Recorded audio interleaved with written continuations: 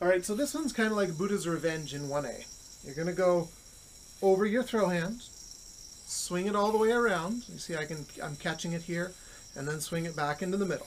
Throw hand, off hand, middle.